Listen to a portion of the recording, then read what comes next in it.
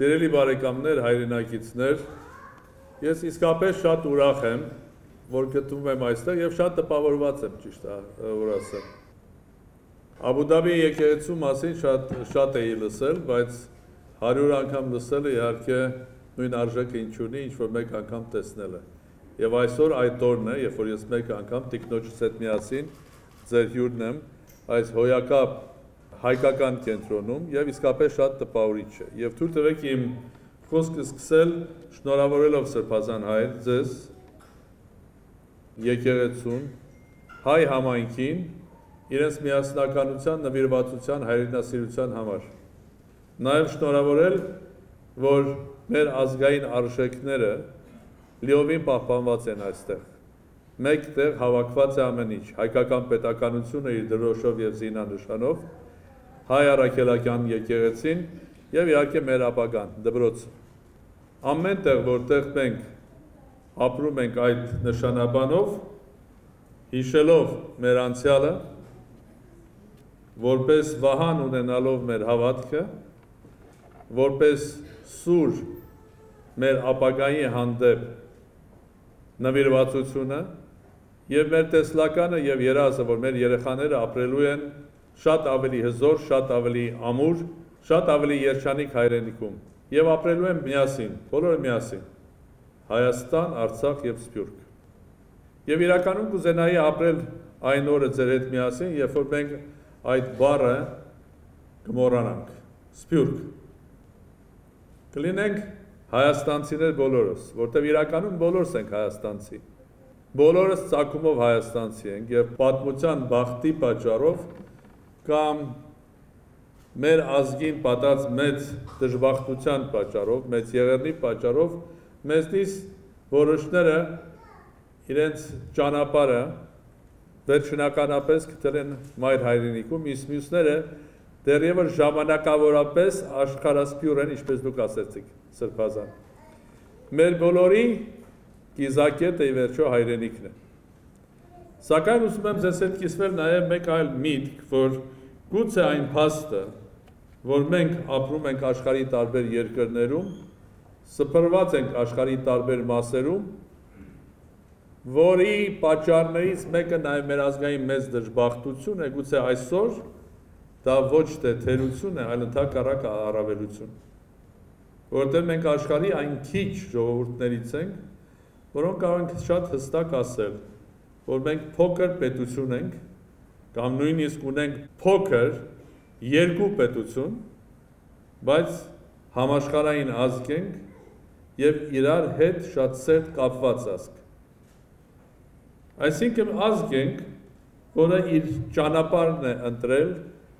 Աստծո կամքով կամ իր որոշմամբ, որի արդյունքում մենք ստեղծել ենք 21-րդ դարի փոքրիկ տիպարը։ Որտեղ 21-րդ դարում ամբողջ աշխարհը, ողջ աշխարհի բնակչությունը, անկախ նրանից թե որտեղ են ապրում, Ավստրալիայից միջև Ռուսաստանը, Եվրոպայից միջև Միացյալ Նահանգներ, ապրելու են որպես մեկ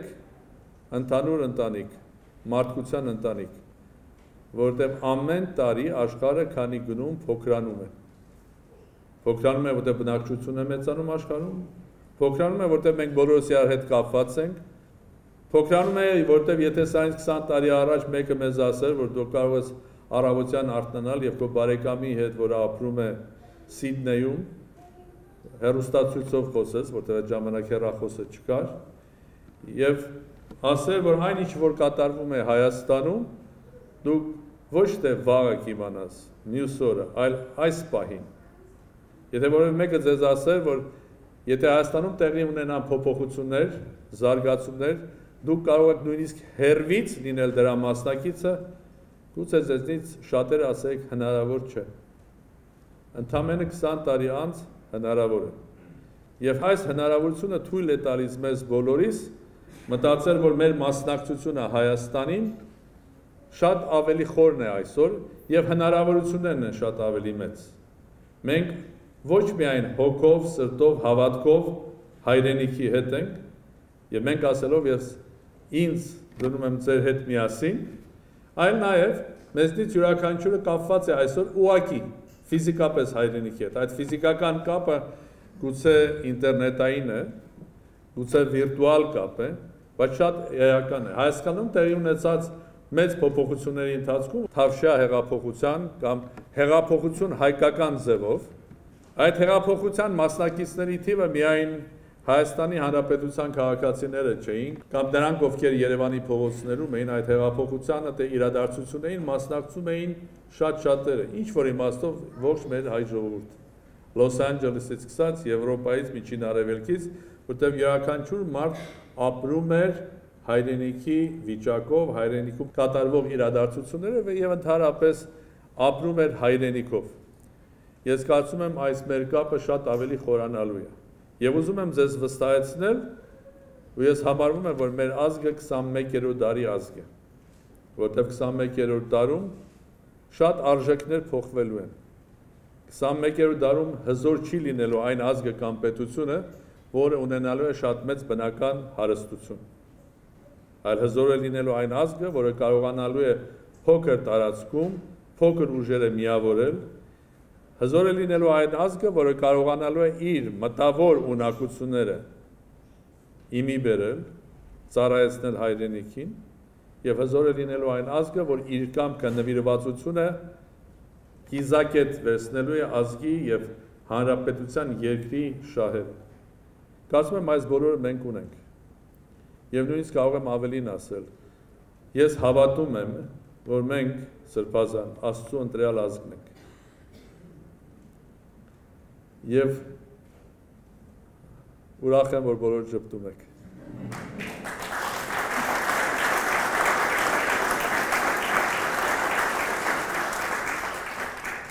Կրկնակի ուրախ եմ, որ ոչ միայն ժպտացիք, այլև ծափարեցիք, հետևաբար ինձ հետ համաձայն եք։ Որտեղ մենք ասք ենք, որ անցել է Աստծո ընտրությամբ անցել է ամենա անհնարին փորձությունների միջով մենք ազգ ենք,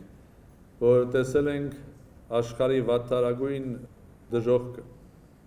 հայկական եղերն։ Մենք ազգ ենք, որի մասին հսկա պետություն, հսկա կայսրություն երազել է, որպեսի լրի ոչնչացնի,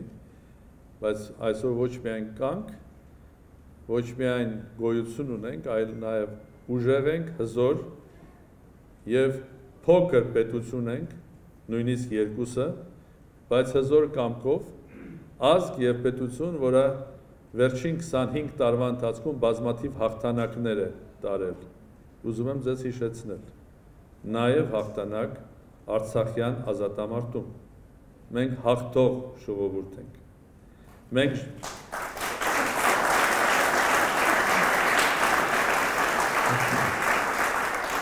Հաջորդ հաղթանակներն արժևում են, սիրելի բարեկամներ հաջորդ հաղթանակներն արժևում են եւ այդ հաղթանակները լինելու են ոչ միայն ռազմի դաշտում, այլ մեր ազգային շահերի, ազգային պետականության բոլոր ոլորտներում։ Դեռ ես հավատում եմ, որ 21-րդ դարում բազմականակ մեծ ազգը իրականում Հայաստանից դուրս ապրում է մի քանի անգամ ավելի շատ հայորդի, քան Հայաստանում, որը սփռված է աշխարհով մեկ, ինչպես դուք ասեցիք, սրբազան հայր, Եվ այդ սփռվածության բոլոր կենտրոններում հայերը մեծ հաջողությունների են հասել։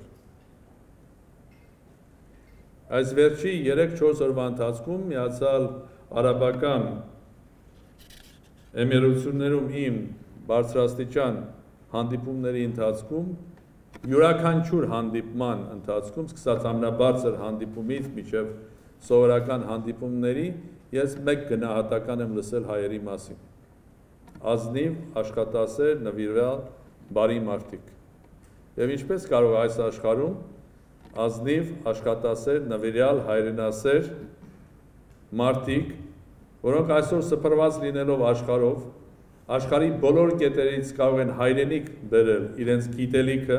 հնարավորությունները, կապերը, ցանկությունը, աշխատանքը, ինչպես կարող է այդպիսի ազգը չհաջողի։ Կա մեկը ձեզնից, որ կարող է ինձ պատճառ ասել, թե ինչու մենք պետք է չհաջողենք։ Չտեսած եք։ Ուրեմն կրկին ինձ հետ համաձայն եք։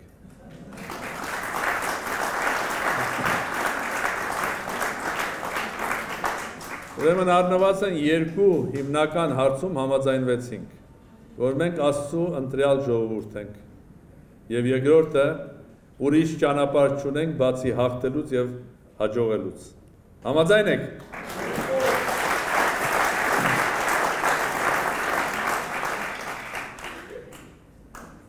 Ինձ համար շատ հաճելի է այստեղ գտնվել եւ այցելության նպատակը, ինչպես գիտեք, պաշտոնական այցելություն է, որի ընթացքում երկու հիմնական հանդիպումների խումբ ես ունեցա, նրանցից սկսեմ երկրորդից, Աբու Դաբիում վերջին մի քանի տարին կազմակերպվում է կայունության եւ շարունակելիության, այսինքն sustainability կայունության միջազգային մեծ կոնֆերանս Այս բառը եւ գաղափարը շատ էական է եւ շատ կարեւոր։ Քանի որ ինչպես խոսեցինք, 21-րդ դարում մեր կյանքը շատ արագ է փոփոխվում։ Փոփոխվում է ամեն ինչ։ Մեծ զանգված մարդկանց այն անկայունության զգացում ունեն։ Քաղաքականությունները տարբեր երկրում փոփոխվում են, լարումներ կան, խնդիրներ մենք ունենք այս երկրագնդի վրա բնակչություն ունի եւ էներգետիկ ռեսուրսների հետ կապված եւ բնակլիմայի հետ կապված, բնության հետ կապված, եւ միգրացիոն խնդիրներ կան, խնդիրների թիվը հսկայական է։ Ուրեմն կա անկայունության ընդհանուր զգացում։ Եվ ճանապարհը դեպի ապագա ես կարծում եմ միակն է, որ յուրաքանչյուր երկրում եւ նաեւ Հայաստանում շատ էական է, որ երբ որ մենք որոշում ենք որևէ խնդրին լուծում տալ, ապա խնդրին լուծում տալուց առաջ պետք է անպայման մտածենք, որ այդ խնդրի լուծումը միայն այսօրվա համար չէ, վաղվա համար է, մեր երեխաների համար մեր թորների համար։ Հետևաբար կայունությունը եւ քաղաքականության մեջ, եւ տնտեսության զարգացման, եւ էներգետիկ ռեսուրսների իմաստով Եվ այդ ռեսուրսները համաչափ բաշխելու իմաստով շատ էական է։ Հետևաբար կայունությանը նվիրված այս միջազգային կոնֆերանսը շատ էական է ոչ միայն աշխարհի համար, այլ նաև մեր համար։ Սկսենք པարզ խնդրից։ Հայաստանի էներգետիկան։ Հայաստանը հարուստ երկիր է էներգետիկ ռեսուրսներով Հայաստանը ունի նավթ, ունի գազ, բայց դրա փոխարեն ունի հսկայական պոտենցիալ ունենալ շատ մեծ արևային էներգետիկ ոլորտ, ունենալ քամի, ունենալ հիդրոէներգետիկա, Հայաստան ունի այսօր ատոմային էներգետիկա եւ հետաքրքիր է ցուցահանդեսում, երբ որ մենք շրջում էինք, ինձ տարան ցույց տալու Էմիրատության լավագույն օրինակներից մեկը համատեղ ձեռնարկությունը, որոնք ստեղծել են Կորեայի հետ միջուկային էներգետիկայի ոլորտում։ Դուք ինչպես գիտեք, Հայաստանը երկար տարիներ ոչ միայն ատոմակայան ունի, այլ էլեմենտար մասնիկներին միջուկային էներգետիկային նվիրված բազմաթիվ ինստիտուտներ։ Այսինքն մենք ունենք ոչ միայն ջերմակայան ատոմային, այլ նաև ունենք know-how դրա հետ աշխատելու։ Այսինքն Հայաստանը հարուստ երկիր է։ Հարցը նրանում է, որպեսզի խելամիտ ձևով կարողանանք զարգացնել Հայաստանում եւ արևային էներգիան, եւ հիդրոէներգիան, եւ իհարկե թերմոէներգիան, այսինքն գազը վառելու եւ այն հավասարաչափ բաշխենք եւ իհարկե չվնասենք մեր երկրին, մեր բնությանը։ Ես ես կասեմ մի փաստ, որը ձեզ կզարմացնի։ Հայաստանը աշխարհի ամենամաքուր երկրներից մեկն է։ Եվ եթե Հայաստան գաք ճանապարհորդելու լինեք, ապա ձեզ խորհուրդ եմ տալիս լայն թոքերով շնչեք, որտեվ այդ օդը բազմաթիվ հատկանիշներ ունի։ Դա մեր օդն է։ Հայկական օդ է։ Երկրորդը այդ օդը մաքուր է, շատ ավելի մաքուր, քան թե աշխարհի շատ տարբեր։ Իհարկե մենք ունենք խնդիրներ, ունենք Հայաստանում տարածքներ եւ հանք արդյունաբերություն կամ ոչ լավ կառավարվող տարածքներ, որտեղ որ բնությանը եւ կլիմային վնաս են հասցնում։ Այս բոլորը պետք է շտկվի։ Հետևաբար իմ այս առաջի մասի падգամը շատ པարզ է։ Կայունությունը, շարունակելիությունը լինի բնական ռեսուրսներում, մեր շրջապատում, լինի էներգետիկայում, լինի քաղաքականության մեջ, տնտեսության զարգացման Հայաստանի համար կարևոր է։ Եվ կարևոր է, որ Հայաստանի Հանրապետության նախագահը ներկա լիներ եւ ոչ միայն ներկա լիներ, այլ նաեւ կիսվեր եւ ներկայացնել Հայաստանի Հանրապետությունը։ Իմ այցելության երկրորդ մասը երկկողմանի հարաբերություններին էր նվիրված եւ ուզում եմ ձեզ ուղակի փոխանցել եւ սա մի ընդունեք որպես քանի որ նախագահի ելույթ էլի ունենում անպայման պետք է ասի որ գիտեք ինչ փայլուն ընդունելություն էր ամեն ինչ շատ լավ է եւ այսպես պրոտոկոլային ձեզ ինչ որ տրամադրություն փոխանցեմ ես ձեզ հետ կլինեմ շատ բարձ ազնիվ եւ ուղակի փոխանցեմ ինչ որ իրականում կա եւ մեր գործընկերներից առնվազն մեկը, որ այստեղ նստած է, այսօր ներկայ է նման մի հանդիպման։ Հանդիպումները մեր հայաստանյան պատվիրակություն ունեցավ էմիրությունների բոլոր բարձրաստիճան քաղաքական գործիչների հետ, սկսած նորին մեծություն Շեխ Մուհամմեդ բին Զայեդից եւ իր գործընկերներից եւ իր ընտանիքի անդամներից եւ ես այցելություն ունեցա նաեւ շարժա այսօր եւ ղեկավարի հետ հանդիպեցի եւ Դուբայ եւ ղեկավարի հետ հանդիպեցի եւ ուղղակի ձեզ ուզում եմ փոխանցել, որ կա շատ ջեմ բարյացակամ վերաբերմունք եւ կա բուրըն ցանկություն, մեծ ցանկություն տարբեր ոլորտներում Հայաստանի Հանրապետության հետ աշխատելու։ Հիմա հարցը մնում է մեզ. եթե մենք չզլանանք, եթե մենք չծուլանանք, եթե իսկապես այս հնարավորությունը, որը ստեղծված է, շարունակելի սարքենք, վաղվանից սկսած մեր երանդը, կազմակերպվածությունը դնենք, լծենք աշխատանքի, ես վստահ եմ մեր հանրապետությունը, մեր հանրապետության եւ էմերության էմերությունների միջև տարբեր ոլորտներում մեծ հաջողություններ կգրանցենք եւ այդ հաջողությունները կարող են գրանցվել իհարկե եւ կապերի ոլորտում արդեն իսկ եթե չեմ սխալվում Հայաստան եւ էմիրություններ թրիչների թիվը շաբաթական մոտ 16 է Սակայն 16 թռիչքը բավարար չէ, որտեղ Հայաստան այցելող էմիրություններից եւ էմիրությունների ճանապարհով Հայաստան այցելող զբոսաշրջիկների, այսինքն տուրիստների քանակությունը ես կարծում եմ 2-3 անգամ կարող է մեծանալ։ Եվ այդ իմաստով առաջարկություններ եղան, որպեսզի Հայաստանում էմիրությունների հետ կապված ընկերությունները նաև համապատասխան ենթակառուցվածքներ, այսինքն ինֆրաստրուկտուր ստեղծեն, սկսած հյուրանոցներից, որոնք հայտնի բրենդներ են Մյուս ոլորտը, որտեղ մենք կարող ենք շատ խոր համագործակցել, դա էներգետիկայի ոլորտն է, որտեղ այս երկիրը գիտակցելով կարևորությունը շարունակելության եւ կայունության իր առաջ առաջնորդի տեսլականի միջոցով Շեյխ Մուհամմեդ բեն Զայդի տեսլական եւ ծրագիրը կա եւ այդ ծրագիրը կարող է երևի པարս երկու բառով նկարագրել որ ինչպես իրենք են ասում, պատրաստվում են նշել ուրախությամբ այն օրը, երբ որ նավթը կվերջանա։ Այսինքն պատրաստվում են այն օրվան, որտեղ երբ որ նավթը կվերջանա, բայց իրենք պատրաստ կլինեն կյանքը շարունակելու առանց նավթի։ Մենք նույնպես պետք է պատրաստ լինենք, քանի որ նավթը չունենք, ուրեմն այսօրվանից պետք է պատրաստ լինենք ապրելու առանց նավթի։ Եվ մեր հնարավորությունը, ինչպես ասեցի, շատ են։ Նույն էմիրություններում, քանի որ ջուր չկա, հարուստ են նավթով էմիրությունները, բայց աղքատ են ջրով։ Այս երկրում, եթե կարծում եմ ձեզ կհետաքրքրի մի շատ պարզ փաստ, որ մեկ խորանաց մետր ջուրը ստեղծելու համար ծախսվում է 5 դոլարից մինչև 2 դոլար։ Հայաստանի Հանրապետությունում ամեն տարի բնություն աստված մեզ պարգևում է 8-10 բիլիոն խորանարդ մետր ջուր ձրի։ Հիմա հարուստ ենք թե ոչ։ Ինչ է կարծում։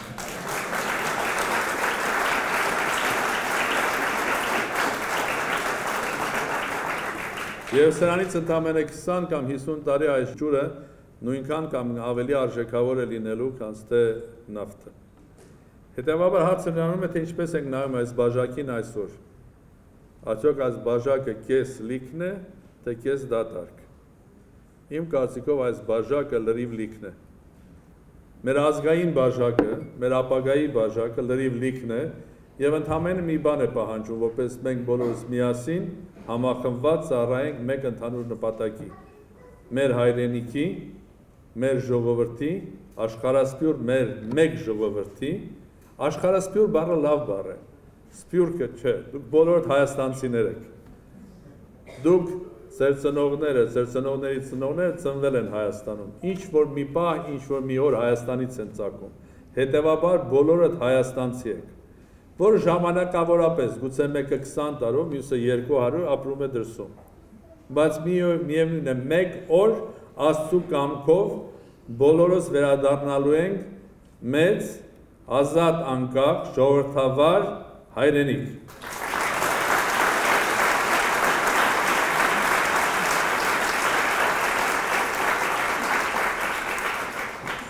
Եվ ես վստահ եմ,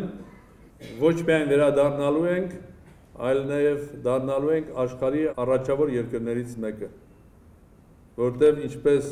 ջուրը մեր մեծ հարստությունն է, 21-րդ դարում ամենամեծ արժեքը լինելու է մարդու ունակությունը, գիտելիքը եւ աշխատելու ունակությունը, որ կարծեմ մենք ունենք։ Հետևաբար ես կարծում եմ, իսկապես 21-րդ դարը մերն է լինելու։ Բայց այդ 21-րդ դարի ճանապարհին առաջին քայլերը այսօր են կանում եւ նաեւ այստեղ։ Ես կարծում եմ մեր այցելությունը շատ հաջող էր եւ պայմանավորվածությունների մեծ սպեկտր ունենք, սկսած ֆինանսական համագործակցությունից, էներգետիկա, գյուղատնտեսական ապրանքներ եւ ընդհանուր միջև туриզմ եւ զարգացում։ Եվ չկար տեղ, որտեղ ես գայի, որ իմ գործակիցները, որոնց հետ ես շփվում եմ, լինեի դա երկրի առաջնորդը կամ իր սրուցակիցները, զուտ պրոտոկոլային հանդիպում են անցկացնում կամ մեծ բարյացական վերաբերմունք, ցանկություն եւ Հայաստան այցելելու եւ Հայաստանի հետ աշխատելու եւ իհարկե ամեն ինչ կախված է լինելու երկու թիմից հաջողություն կունենանք թե ոչ մի թիմը դուք եք դեմ ձեզնից շատ բան է կախված լինելու ձեզնից յուրաքանչյուրի ներդրումը պետք է բերի որ մեր երկու երկրները իրար ավելի մոտենան եւ սա հոյակապ կլինի բոլորիս համար եւ Հայաստանի համար եւ էմիրությունների եւ էմիրություններում բնակվող մեր հայ եղբայրների եւ քույրերի Եվ իհարկե երկրորդ մասը հայաստանյան կողմն է։ Բայց ես ուզում եմ ձեզ վստահեցնել, որ քանի որ ունենք շատ տաղանդավոր երիտասարդ գործընկերներ, որոնք պատրաստ են հայրենիքին ոչ միայն լծվել, այլ նաև ծառայել, ապա այդտեղ էլ կասկած չունեմ, որ հաջողելու ենք, եւ որպես համայնք սրբազան հայր, եւ որպես իր առանձին անհատներ։ Եվ հույս ունեմ տեսնել ձեզանից շատերին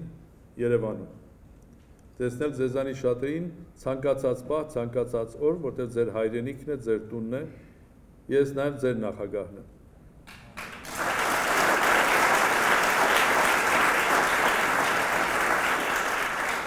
Եվ իհարկե կուզենամ ձեզնից շատերին տեսնել պետական, արաբական միացյալ էմիրությունների պետական խմբերի այցելուների հետ միասին,